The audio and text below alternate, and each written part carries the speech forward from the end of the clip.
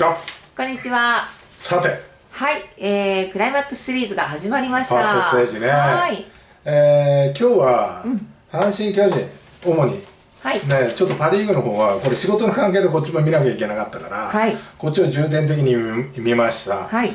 でまずオーダーね。はい。はい、えーオーダーは島田中野近本近本戻ってきてくれたね、うん。えー心強い、はい。マルティ糸原木浪ロハス坂本高橋。ちょっと小粒なんだよね。ホームラン打者が大山がいない、えーサンズがいないとか佐藤も入ってない。というところでちょっと迫力不足なんだけども、はい。菅野対策だろうね。菅野に、えー非常に相性のいいバッターたちを並べたという、はい。で一方巨人。こう気が付くのは岡本がいない、えー岡本が4番から外れた、はい。外れたっていうのはゲームに出てない。登録もなし。そうでしたね。ちょっと脇腹ということで、うんそうですね。うん。その代わり広岡が入ったというね、でまあ菅野小林のバッテリーで、まあ、スタートをしていくんだけどもさ。まあ舞台は甲子園。汚い字だね まあしょうがないね。俺が書いたから。可愛らしい字ですね、オーダーはね。はい。それで今日の先発ピッチャーの情報はい。を言っておきます。こうなります、えー高橋遥人ね。はい。菅野、で高橋は巨人戦16イニング無失点中。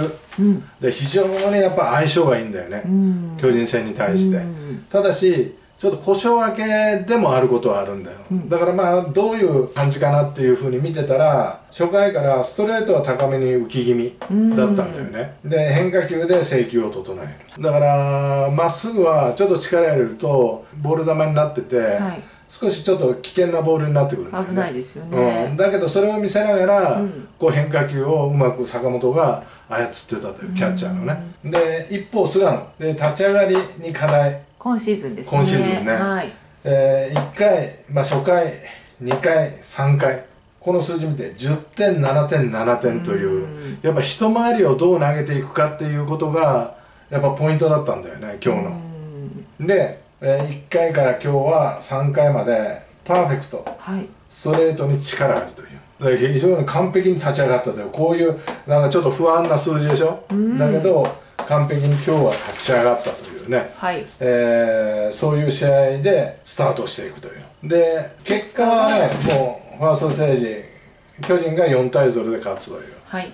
で、まあ、ちょっと回を追ってあのーポイントですね。うん、ポイントを話していきたいと思うんだけども、高橋も菅野もはい。非常にもう緊張感のある投手戦を演じてきた、うん。で5回にあのゲームが動くんだけども、はいそこまで1安打に抑えてあの先頭バッター丸に対して、うんボール2からスライダーをおセカンド内野安打はい。を打たれるんだねで次にウィーラーをうん5番に据えてて、はい。どうするかなと思ったら、はい。ウィーラーにバントさせたんだよ、んやっぱり高橋と菅野の投げ合いだともう1点差勝負になってくるというはいことで、ウィーラーがバントを正確に決めるんだよね、はい。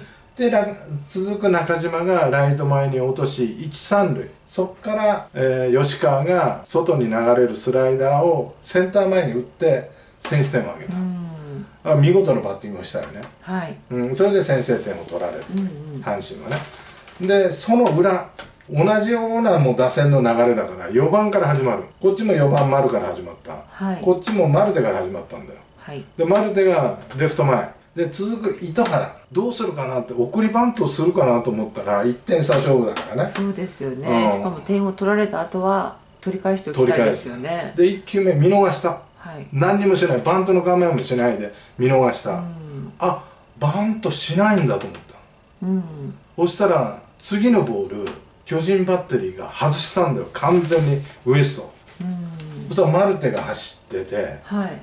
それを小林が正確に刺したという、はい。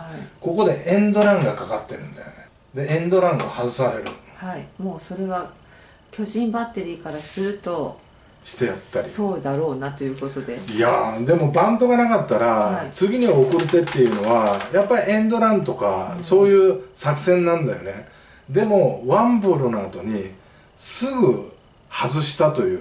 でもそれがここがエンドランじゃなかったらボール2になるわけじゃない、はい。そしたらすごいすバッテリーも困ったと思うんだけど、はい。よっぽどの確信があったんだろうね。ね。それとよっぽどやっぱ菅野が状態がいいというふうなことで外したんだと思うんだよ、うん。でまんまと引っかかった。小林選手の判断っていういや俺はベンチだと思うんだけどさ、うん。まあそれであの事なき得て5回終わって1対0で後半戦に入っていくんだけども、はい。で後半戦6回。西から2点。はい。ツーアウトから2点。坂本丸ウィーラー、このクリーンナップで2点を取ったんだ。ただそのツーアウトになるまでに松原広岡で4球でツーアウト取られた、あこれ流れ変わっちゃうぞと、うん。そうですね。あまりにも攻撃が早すぎると思って、うんそしたら坂本が初球チェンジアップかフォークをレフト前に打ったんだよ。はい。で丸が粘ってフォアボール、ん。でウィーラーが初球のやっぱり変化球、うん。多分フォークかチェンジアップだと思うんだけどそれをセンターオーバー打たれた。それで言ってたでしょ高橋。ストレートは高めに浮き気味、はい。変化球で制球を整える。今まで吉川だとか、はい。坂本ウィーラーだとか丸全部変化球を捉えてるんだよ。なるほど。だから、うん。巨人のバッターはあ今日の高橋はストレートは見せ球。変化球で勝負してくるなっていうのがすごく分かってたと思うんだよね。もうそのあたりでは。読んでるんだよ。うん。肌感で。だからやっぱすごいなと思った。ここら辺の経験値っていうのは。で原監督もやっぱこういう短期決戦、はいで菅野と高橋の投げ合い、もう絶対接戦になってくる、うんもうウィーラーでも遅らした、先取点を取った。はい。ツーアウトもツーアウトから2点。全部変化球を打って2点を取ったという。ここら辺はやっぱ巨人の経験値が上回ってるかなっていうふうに、で6回阪神もチャンスがなないことはない、はい。坂本キャッチャーの坂本がデッドボールで出た、で糸井の代打レフトフライなんでもない、で1番に戻ってきて島田で中野近本って続くよね、はい。で島田がやっぱりな何にもしないでショートフライ打つんだよね。ショートライナーというか、はい。ハーフライナーを。でも阪神ベンチもちょっと動いてもよかったと思うんだよ島田に対して。エンドランするとか、はでもここでエンドラン外されてるからもう動くのが怖くなってんだよね、うん。やっぱ見透かされてるんじゃないかっていう。だから何にもできずに6回を終えるんだけども、はい。そういう時に考えてほしいのは島田が中野中野近本って続く時に、うん。セーフティーバントでもいいから自分でも生きようとしてセカンド一塁ランナーをセカンドに送っとけば、うん。この時中野がツーベース打つんだよね、だからそれで1点を返せてたという。だからここら辺も経験値だと思うんだよ。一生懸命やるんだよ、はい。一生懸命は分かるんだけどどうやったら点になるかというでどうやって進めとけば点になる。うん。どうやって点を取るのか。そういうことをやっぱ考えてほしい回だったよね。ううん。んなるほど。まあ5回6回と点数がね巨人入ってるので、そうそ特に。うそうなんだよ。でチャンスがないわけじゃなかったからさ、はいうん。やっぱ1点でも返しておくと、全然変わるんだよね。変わってくるそうそうますよね。そうで8回、うん。ダメ押しを取る。はい8回交代はなかったのか、及川が投げた。あレフトにツーベースを松原が打つんだけどもさ、はい。あのそれで、えー広岡が送りバントをする、うん。でとにかく巨人は送りバント。得点圏にランナーを進めていく、結果から言うと今日送りバントを決めれたら全部生還してるんだよね、で、えーここここでウィーラー中島に回ってくるんだけどさ、はい。まあ、ウィーラーがダメ押し点を取るんだけど及川からね、でも先ほど高橋もここで打たれてるじゃないはい。だからここでやっぱもう投手交代はなかったかなっていうことは思ったよね、まあ及川に経験をさせる、うん。こういう場を乗り切れるだけの力をつけさせる。まあ阪神ベンチの考え方はそうであったかもわからないけど、うんやっぱファンっていうのはやっぱり勝ちゲームみたいはい。そうなってくるとここで及川じゃなくてやっぱりピッチャー交代はなかったかなっていうふうには少し思ったよね、うん。あそこで変えとけばちょっと違ったという。んうで9回ビエラ交代、はい。実はこの時満塁になってんだよね。ツーアウト満塁に、でもうたまらずはい。畑が出てきて抑えるんだけども、はい。でも明日につながる攻撃ができたのかなとやっと。